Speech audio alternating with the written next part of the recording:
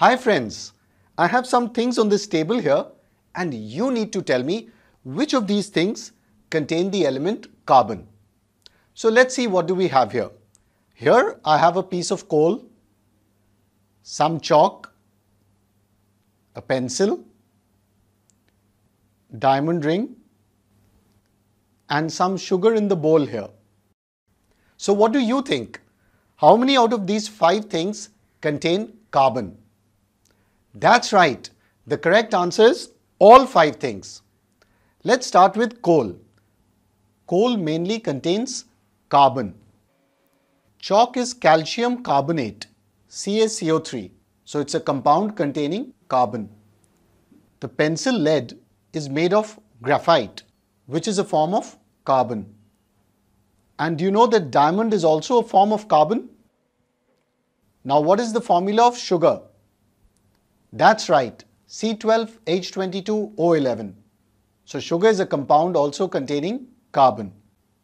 That's the magic of chemistry. All these things look so different, but they all contain the element carbon. Now, detective, let me ask you, are there any other things here that contain carbon? Wood contains carbon. So this wooden table here is made of carbon. There's carbon dioxide in the air. So we have carbon again there. And you and I, we are made of carbon. In fact, all living things contain carbon. Carbon is said to be the element of life.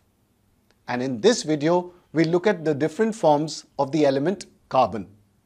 And as usual, we'll finish off with our top three questions on this topic.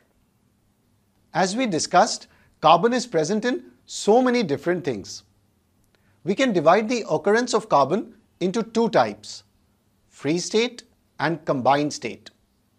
Free state means that carbon occurs as an element and combined state means carbon occurs in a compound combined with other elements.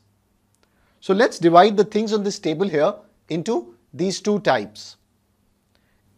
Graphite and diamond are examples where carbon occurs as an element.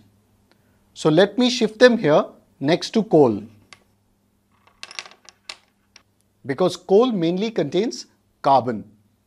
In chalk and sugar, carbon occurs as a compound combined with other elements. Chalk has the formula calcium carbonate, CaCO3. And sugar has the formula C12H22O11. So these two things are compounds of carbon. Now how do we test that all the things here on the table contain carbon? One simple way is to burn all of them in air and that will produce carbon dioxide gas which we can test with the lime water test the lime water is going to turn milky. And so we'll know that all these things contain carbon. In this video, we'll focus on the forms of carbon where carbon exists as an element. Diamond, graphite, and instead of coal, we'll look at a form of carbon called Buckminster fullerene. Hold on, how many letters is that? I think that's the longest word in our chemistry textbook. So do you know what is common to diamond, graphite and Buckminster fullerene? These are forms of carbon where carbon exists as an element. But the carbon atoms are in a crystalline structure. They have a regular geometric shape. So we'll look at these three forms in detail in this video. Before we talk about different forms of carbon, let's first talk about carbon itself. Carbon is an element and it has a symbol C. Carbon is a non-metal. Do you know what is the valency of carbon? That's right. The valency is 4. Carbon is tetravalent. Do you know what type of bonds does carbon form? Ionic or covalent? That's right. Carbon forms covalent bonds. Carbon has the atomic number of 6. So its electron configuration is 2, comma 4. Since it has 4 electrons in its valence shell, it finds it hard to gain 4 electrons or lose 4 electrons. So carbon ends up sharing four electrons to attain its stable state. And sharing of electrons means covalent bonds are formed. We can visualize this using our model here. Let's say this black ball here is a carbon atom and these white balls represent hydrogen atoms. Can you see that there are four sticks coming out of the carbon atom? These represent the bonds. So carbon has four single covalent bonds.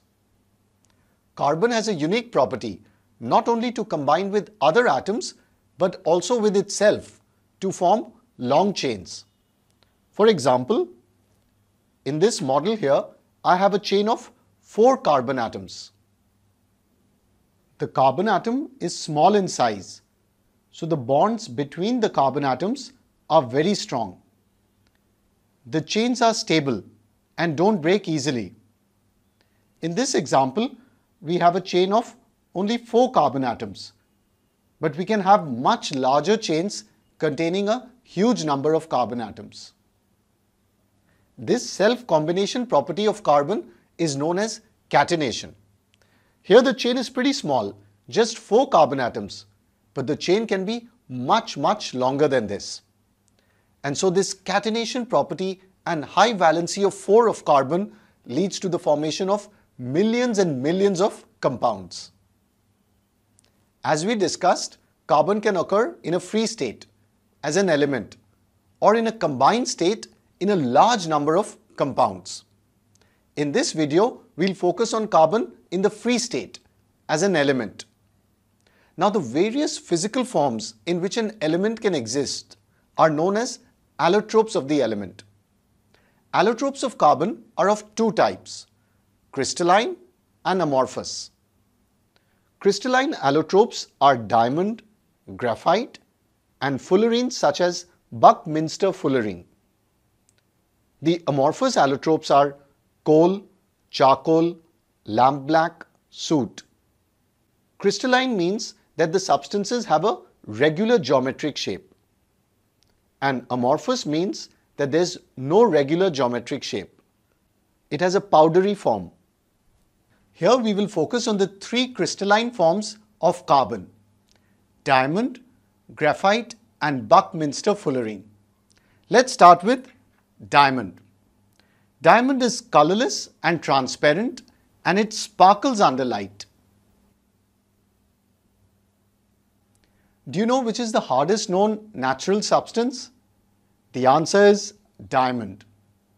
Let's talk about the other properties of diamond. Diamond does not conduct electricity and it burns on strong heating to produce carbon dioxide only.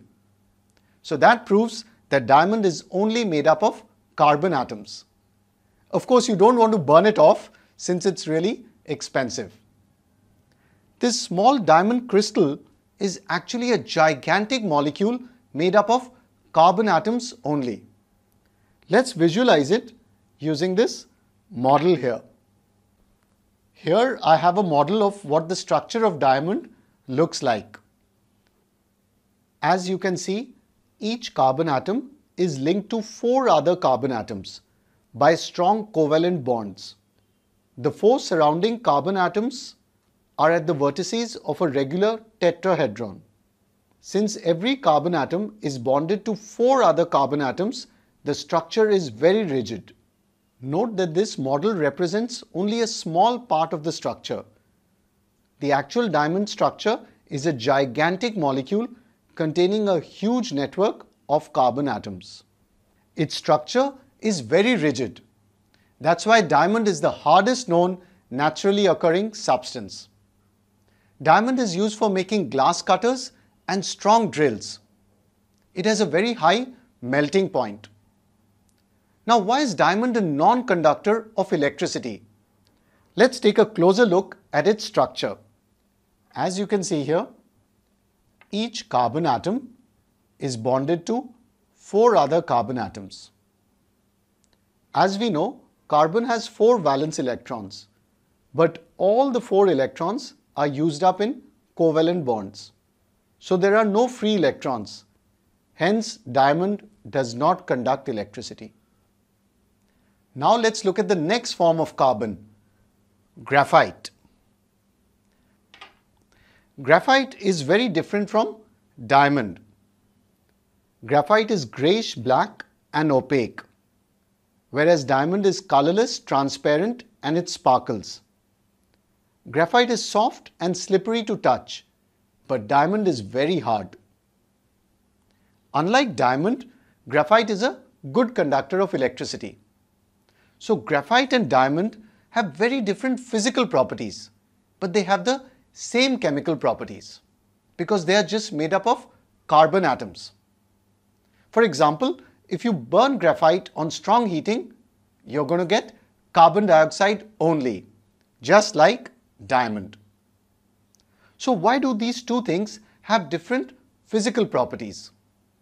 The answer lies in the arrangement of the atoms. So to understand that, let's take a look at the arrangement of the atoms in graphite. So here I have a model of the atoms in graphite. Let's look at the structure of graphite. Here I've just shown one layer of carbon atoms. As you can see, the graphite structure is different from diamond. Each carbon atom is bonded to three other carbon atoms by strong covalent bonds to form flat hexagonal rings here. Graphite has many layers of carbon atoms. So let me bring in another layer of carbon atoms here. The layers are far apart and they are held by weak forces known as van der Waals forces. These layers can slide over one another, making graphite soft and slippery. Graphite is a soft substance. That's why it's used in pencils for writing and it's used as a dry lubricant for machine parts that operate at a high temperature because graphite is non-volatile. Now why is graphite a good conductor of electricity? Carbon has four valence electrons. Again I am showing only one single layer of carbon atoms here. In graphite, as you can see, each carbon atom is bonded to three other carbon atoms. So three electrons are used in the bonds here and one electron is free. So every carbon atom in graphite has one free electron and the presence of a large number of free electrons makes graphite a good conductor of electricity, which is why graphite is used for making electrodes. Now let's talk about fullerenes. Fullerenes are an allotrope of carbon having the shape of a hollow sphere, ellipsoid or many other shapes. The most famous ones are the spherical fullerenes known as Buckminster fullerene or buckyballs. The Buckminster fullerene looks like a football. The carbon atoms are arranged in a football shape like this where each edge here is a carbon atom. This molecule contains 60 carbon atoms, so it's C60. In a football, there are 20 hexagons. So these white hexagons here and 12 pentagons, the black pentagons here, and all of these contain carbon atoms on their edges. So in the Buckminster fullerene molecule, we have a total of 60 carbon atoms. Buckminster fullerene is named after the architect Buckminster Fuller because he used a similar football design in his work. This is a dark solid at room temperature. Now let's compare its structure with that of diamond and graphite. Remember we saw the structure of diamond and graphite?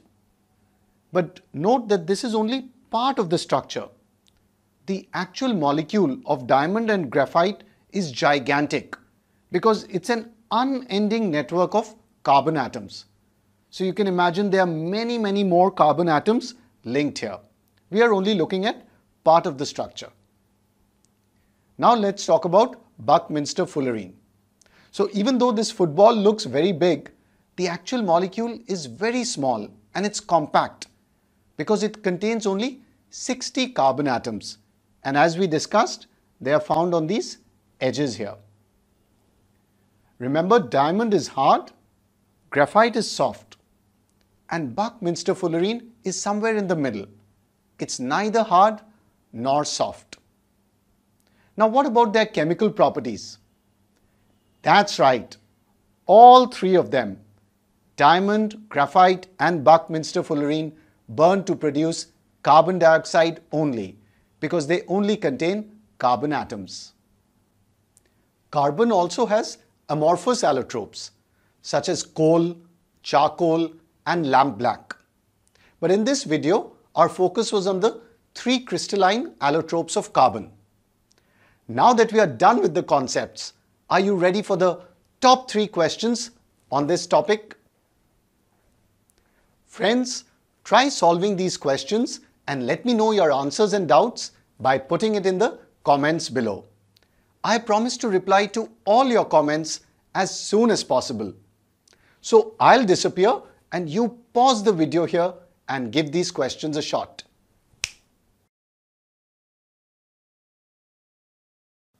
In this video, we looked at carbon, the element of life. We saw different forms of the element carbon. Carbon also exists in compounds. In fact, there are millions and millions of compounds containing carbon. But we'll look at that in a separate video. And if you like this video, go hit the subscribe button for my YouTube channel right now. And do check out my website, manochaacademy.com. You can also like and follow my Facebook page. Thanks for watching.